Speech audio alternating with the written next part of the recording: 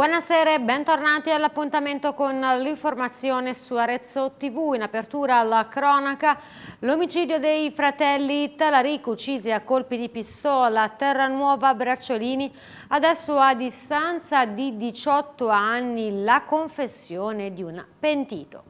Era l'aprile del 2006 quando vennero ritrovati i corpi dei fratelli Talarico, operai edili originari della campagna ma residenti in Valdarno, freddati con un colpo di pistola alla testa e poi sepolti in un campo in località Tasso a Terranuova Bracciolini. Adesso a 18 anni di distanza un pentito dal carcere ha confessato il duplice delitto, facendo anche altri nomi. Domenico Colosimo conferma di essere stato lui uno degli esecutori dell'omicidio ehm, dice che non l'ha fatto da solo, eh, che l'ha fatto insieme a Giovanni Greco e Mario Gigliotti. La rivelazione adesso è nelle mani della Didia di Catanzaro in attesa di essere trasferita ai colleghi di Firenze. La famiglia Talarico aveva sempre avuto il sospetto che Colosimo c'entrasse qualcosa, loro non pensavano che fosse l'esecutore, però tutto quello che lui dice poi dovrà essere vagliato, quindi ci sarà un procedimento penale. Colosimo nella sua confessione ha raccontato che due fratelli furono furono attirati con la scusa di mettere a segno un furto assieme,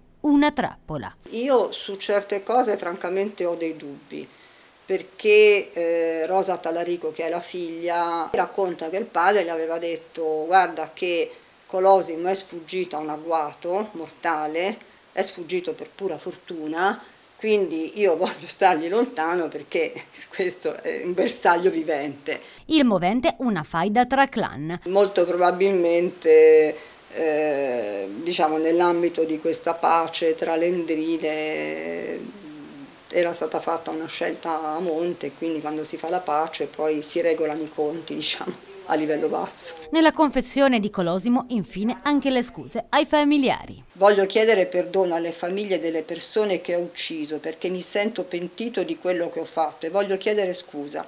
Io pagherò per quello che ho fatto, ma voglio dire che sono pentito, anche al di là della decisione di collaborare con la giustizia.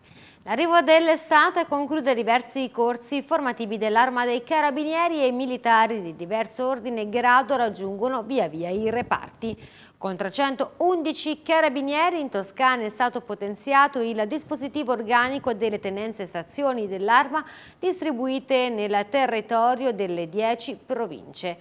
Nell'Aretino il Comando Legione Toscana ha assegnato 25 nuovi carabinieri che saranno distribuiti tra i vari comandi delle 5 compagnie territoriali. Nella notte invece ad Arezzo si è eh, consumato un incidente stradale, è stata attivata l'emergenza urgenza per prestare soccorso ad una persona rimasta ferita, per fortuna in maniera non grave. È successo attorno alle 23 in via della Chimera, uno scontro tra auto, un impatto fronte laterale è avvenuto nei pressi dell'incrocio. Il paziente è stato soccorso da un'ambulanza della Croce Bianca di Arezzo. E dopo quello in nottata un altro incidente si è verificato in mattinata ad Arezzo in zona Santa Firmina. Poco dopo le 10 anche in questo caso sono intervenuti i soccorritori aretini dell'emergenza urgenza in particolare della Croce Bianca.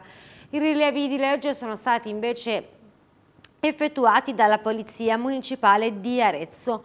Sul posto anche i vigili del fuoco per mettere in sicurezza la strada. Una delle due auto coinvolte infatti ha anche abbattuto un lampione. E sempre i vigili del fuoco, ma in questo caso in piazza Saione, hanno salvato un gattino che per tre giorni è rimasto intrappolato in uno stabile il piccolo gattino nero con i suoi miagolire è riuscito ad attirare l'attenzione di una signora che abita nelle vicinanze. Il micio è stato così salvato dai pompieri ed è stato poi adottato proprio da uno dei vigili del fuoco che l'ha soccorso. Da via Concino Concini invece arriva un appello di una cittadina per salvare la colonia felina. Sono iniziati i lavori, io l'avevo già avvisati a chiunque sembra di dovere di, insomma, di cavare sti gatti visto che è stata censita dal comune e non l'hanno fatto. E quindi ora sono iniziati i lavori veri e propri e i gatti non ci sono, cioè, non, verranno smantellati, non, più, non, hanno più un riparo, non hanno più niente. Io ho chiamato, cioè, sto chiamando chiunque per farmi aiutare insomma, a trovare una sistemazione per questi gatti. Ci troviamo in via Concino Concini ad Arezzo, nella zona dell'ex mercato ortofrutticolo. Proprio all'interno di questi stabili, ormai da tempo abbandonati, hanno infatti trovato rifugio una quindicina di amici, anche gatte con cuccioli. Nella zona sono iniziati adesso i tanto attesi lavori di demolizione che però potrebbero mettere a rischio questi animali. Da qui l'appello lanciato da una cittadina che da tempo si prende cura della colonia censita. L'appello ovviamente alle associazioni animaliste. Eh sì, sono disposta anche a prendere alcuni, ma poi il resto non lo so. Hanno bisogno adesso di un riparo. Eh sì, che non, hanno, non sanno dove andare proprio praticamente, non hanno più niente. Cioè quel poco che avevano, ora lo buttano giù, quindi è a rischio di essere mm, sotto le macerie. Ci sono parecchi mamme con cuccioli e quindi non so la fine che potranno fare. Una colonna censita, quindi l'appello insomma è anche all'amministrazione comunale. Eh, sì, sì, sì di trovare una soluzione, un posto idoneo per loro e cioè, in sicurezza possibilmente perché non è possibile metterli qui in strada. Io, se hanno un posto, cioè io sono, senso, posso tranquillamente aiutarli nel senso trovare, cioè a, a contribuire a tutto il resto. Solamente qualche giorno fa a Cortone è stata presentata la nuova giunta comunale, tra i confermati anche l'assessore Francesco Attesti che è già al lavoro. Torna ad occupare la casella dedicata a cultura e turismo Francesco Attesti. L'assessore è già al lavoro per nuove iniziative per la città di Cortona. Sicuramente il potenziamento di tutte le iniziative che stiamo svolgendo durante l'anno, un implemento ulteriore di alcuni festival, ma soprattutto ci sono anche delle nuove idee, ehm, con cui ne parlerò chiaramente con il sindaco e con la giunta, proprio per rendere anche il territorio molto più eh, e soprattutto cercare anche di far conoscere dei posti eh, non eh, noti al grande pubblico. Tra i prossimi impegni in calendario c'è la Cortona Antiquaria che si aprirà il 23 agosto prossimo. Su Cortona Antiquaria stiamo cercando una collaterale molto importante di un artista importantissimo contemporaneo, eh, stiamo avendo le prime conferme quindi ci saranno dei pezzi di notevole rilievo nel panorama artistico nazionale e internazionale e poi chiaramente vogliamo continuare con gli eventi in Piazza Signorelli e stiamo anche già decidendo chiedendo per il premio Cortona Antiquaria che sarà appunto uno straniero residente a Cortona. Una delle sfide culturali che attendono la città etrusca sono gli 800 anni dalla morte di San Francesco. Sì, anche questo è un appuntamento su cui stiamo puntando e ci stiamo lentamente preparando alla data eh, principale del 2026, appunto per gli 800 anni, ma già adesso siamo in primis eh, interessati a questo evento proprio perché abbiamo tre, tre reliquie eh, nella chiesa di San Francesco, abbiamo dei luoghi francescani di tutto rispetto e contiamo veramente di smuovere un turismo importante nei prossimi anni. Quindi ci stiamo attrezzando, Cortona Città di Francesco è un progetto che vede coinvolte tante associazioni, tante realtà eh, civili e religiose e speriamo davvero che possa essere un grande ritorno di immagine e di turismo per la città. Voltiamo pagina, l'azienda Asla Toscana Sud-Est ha vinto il premio Protagonista in Sanità 2024 dedicato alla certificazione di genere. La cerimonia si è svolta ieri a Roma. Un riconoscimento ottenuto grazie al percorso appunto sulla certificazione di genere che l'ASLA ha intrapreso da tempo per implementare le politiche volte alla parità e alla valorizzazione di tutte le risorse umane che vi operano all'interno. Ed ancora salute in Valdarno. A San Giovanni Valdarno è terminata la prima edizione dello psicologo on the road.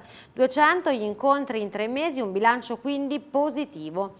Il progetto, voluto dall'amministrazione comunale e realizzato dallo studio Psiche con l'utilizzo di un camper o studio mobile collocato in Piazza della Libertà e in Piazza Casprini, ha dato l'opportunità di fornire sostegno psicologico a cittadini di tutte le età, proponendo un modello di prevenzione primaria fondamentale per il benessere psicofisico.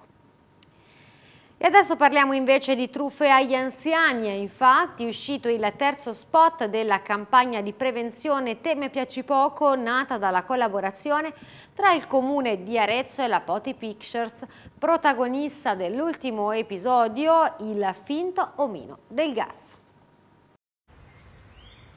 Non puoi deludermi. Ci penso io.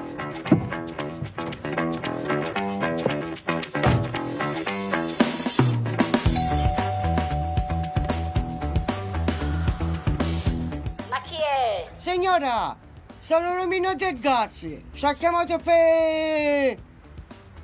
per una perdita. Oh Madonna Santa, ma è pericoloso. Certo sono è pericoloso. Non mi faccio salire in casa c'ho l'apparecchio apposta.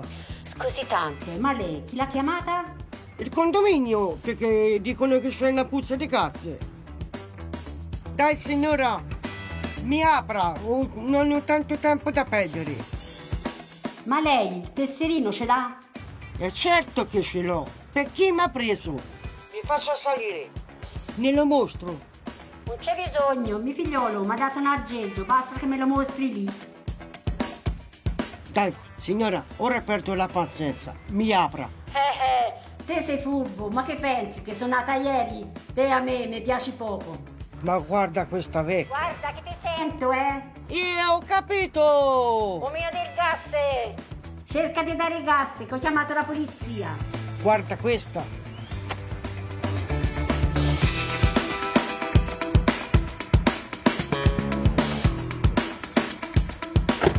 Oh, e dunque? Eh, ve lo dico io. Questa è una iena, eh. D'accordo, cara vecchietta. L'hai voluto tu.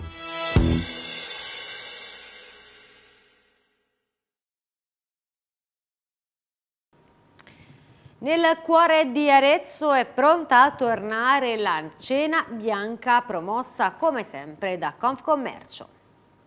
Per il quinto anno Piazza Grande indosserà l'abito da sera in occasione della Cena Bianca, iniziativa promossa da Confcommercio in collaborazione con i ristoratori della piazza. L'appuntamento è per giovedì 18 luglio. Ritorna quindi anche quest'anno nella stupenda cornice di Piazza Grande insieme al Prato, quindi il 18 mattina il prato diciamo, sarà montato e quindi la piazza godrà per un po' fino alla domenica di, un, diciamo, di, una, di un'aggiunta di verde all'interno della piazza e la sera del 18 ci sarà la cena in bianco, una cena molto eh, attesa, è un evento molto molto atteso durante l'anno, non solo per gli aretini ma anche per le altre persone, soprattutto della Toscana che eh, vengono e che ci hanno già contattato. Il lastricato del loggiato Vasariano e del Palazzo di Fraternita dalle 19 diventerà un suggestivo salotto dove gli ospiti, in rigoroso abito bianco, potranno gustare piatti gourmet legati alla tradizione toscana. Una cena con un menù da sogno, quattro ristoranti insieme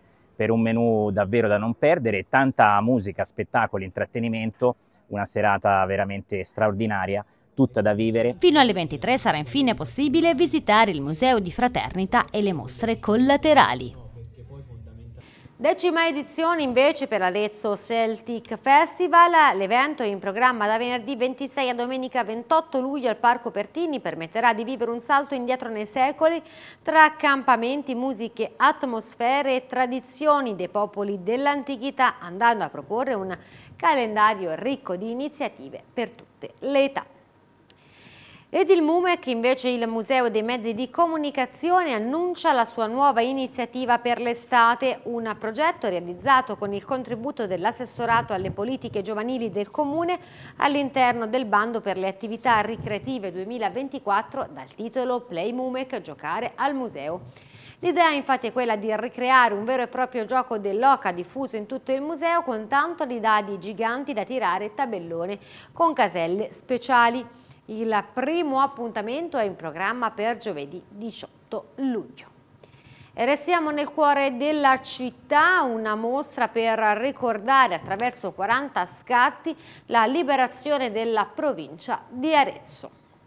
Questa è la mostra fotografica, sta a dimostrare cosa è successo e che non dovrebbe più succedere. Noi vediamo quanto è difficile la pace, quanto è difficile la pace. Noi ci auguriamo che il messaggio che viene da questa mostra fotografica sia un incentivo verso la pace, a 80 anni dalla liberazione della città di Arezzo e provincia. La liberazione della provincia di Arezzo raccontata attraverso 40 scatti in esposizione negli spazi della Galleria Ricasoli, una mostra per celebrare l'ottantesimo anniversario della liberazione organizzato dall'Associazione Nazionale Veterani e Reduci Garibaldini. Scritto all'ingresso proprio perché Garibaldi ha combattuto per la libertà di tutti i popoli e è un esempio di democrazia, è uno dei primi esempi di democrazia, non si è mai arreso e ha combattuto sempre per la libertà e la democrazia. E quindi eh, noi abbiamo il dovere di, di continuare e tramandare questi principi, questi valori. Quindi ricordare, come in questo caso grazie eh, al credo e all'impegno appunto dell'associazione, è un modo per eh, renderci conto di quante, quanto sangue e quante morti eh, abbiamo, dovuto, hanno dovuto diciamo, eh, sacrificarsi eh, per la libertà che noi oggi eh, abbiamo. come diceva prima il Presidente, una guerra non si vince mai, si perde sempre, su Arezzo ci furono più di 3.000 vittime innocenti, quindi nonostante la gioia poi della ripartenza e della liberazione, il costo delle vite fu alto alto. Lo scopo di un'amministrazione è quello di coinvolgere i giovani per poter tramandare questi, questi valori e queste anche atrocità che spesso si vedono alla televisione sembrano lontane, in realtà sono molto vicine e sono anche state nei nostri territori, nelle nostre case e hanno coinvolto nonni, parenti, quindi è opportuno, anche se sono passati 80 anni, riscoprire quei, quei giorni, riscoprire quei valori per insegnare ai nostri ragazzi, coinvolgerli e renderli partecipi. Proprio a Castiglionfibocchi, alla Fontaccia, nel luglio 1944, vennero uccisi 14 civili dai soldati tedeschi, c'è chi in quella strage ha perso un nonno e uno zio. Mia madre all'epoca aveva 12 anni, mio zio e mia zia erano ancora più piccoli, pertanto loro, eh, i loro sogni sono svaniti in quanto quello che avevano intenzione di fare poi nella vita è andato tutto a perdere. Questo ricordo è sempre vivo e sempre molto doloroso in quanto la vita è bella e deve essere vissuta nella giusta maniera. Pertanto mi auguro che questo possa dare anche un segnale a tanti giovani che non si può vivere il presente se non guardiamo un attimo anche a quello che è successo nel passato, pur anche se è doloroso. La mostra sarà visitabile sino al prossimo 21 luglio. È stato Rocco Pappaleo a chiudere in Fortezza i Barchi Festival.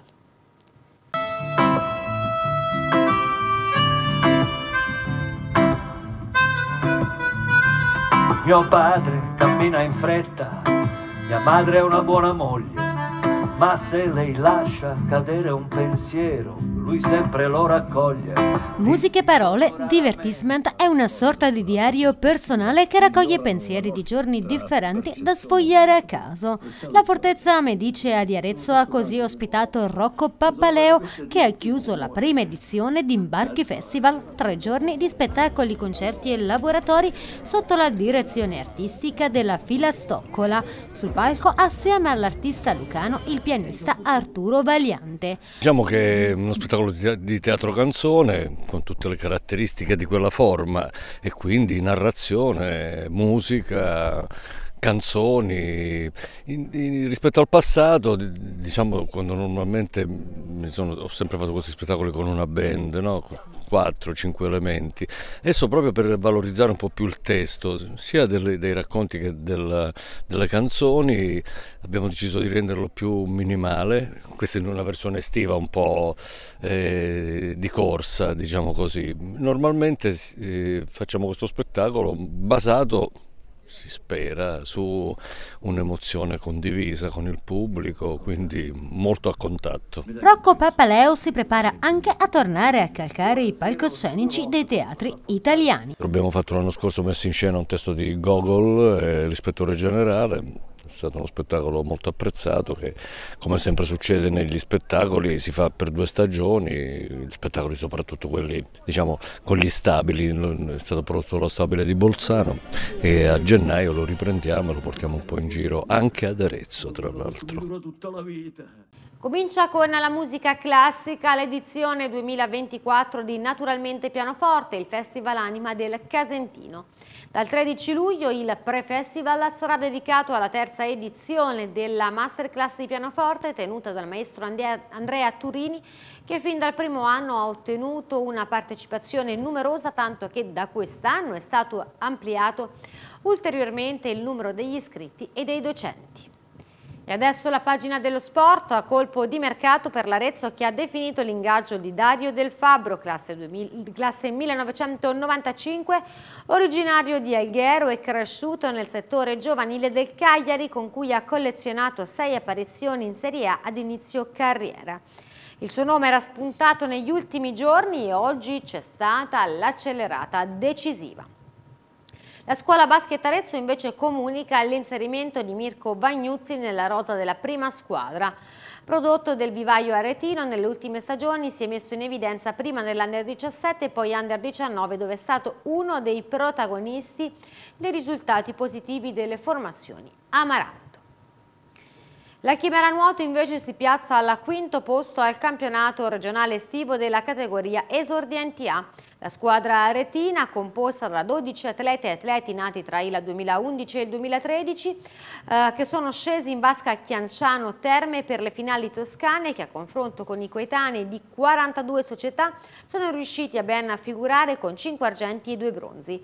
La somma di tutti i risultati ottenuti nelle diverse specialità ha permesso alla Chimera Nuoto di meritare un'ottima quinta posizione nella classifica generale, confermandosi tra le migliori realtà giovanili della regione. Questa per stasera era l'ultima notizia, vi ringrazio per l'attenzione, arrivederci.